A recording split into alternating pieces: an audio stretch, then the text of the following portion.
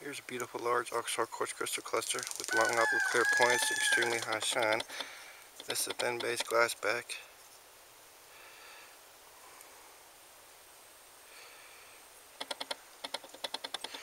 It is absolutely gorgeous.